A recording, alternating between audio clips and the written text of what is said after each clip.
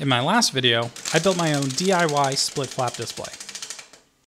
Now that the display is completed, it's time to put it to use and turn it into a YouTube subscriber counter. I spent the last few weeks developing this Python script. It fetches data from the YouTube API, parses it, and sends the result to the split flap display. To use it, you start by putting in your Google API key, the ID of the YouTube channel to track, and the serial port where the split flap display is connected. Once the script launches, it will home the display and then show a brief startup sequence.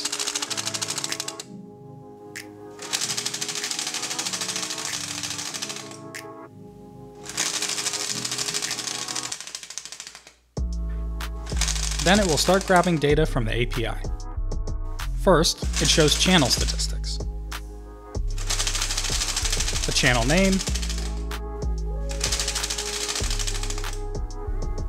total views,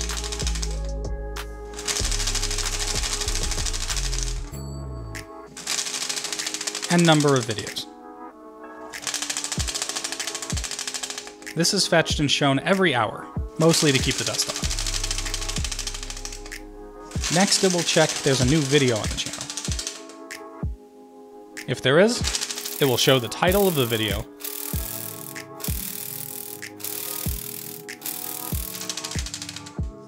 followed by the number of views,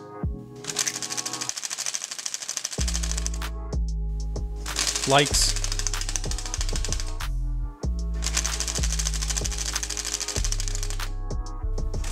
and comments.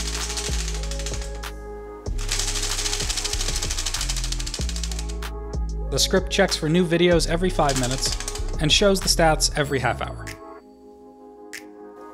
And now for the main event, the subscriber counter. This is the default view for the display and is updated every 2 minutes. I also made a little optional incrementer that shows the number of subs added. Although all of the footage so far has been for my own channel, the script supports any channel on YouTube.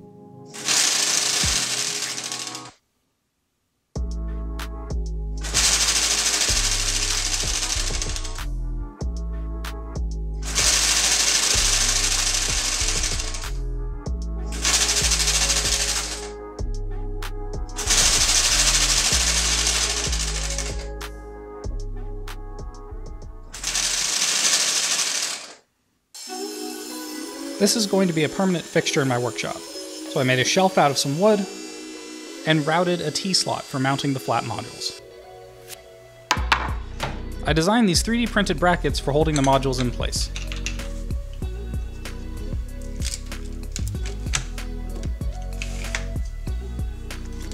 Each module is secured with an M4 bolt and a T-nut.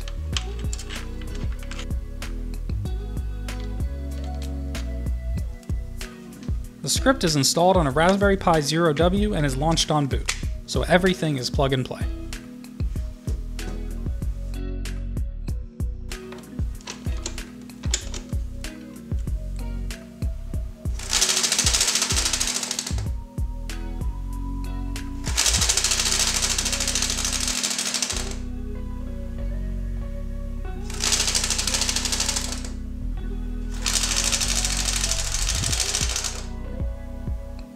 If you want to build your own split flap display, or if you want to turn your display into a YouTube sub counter.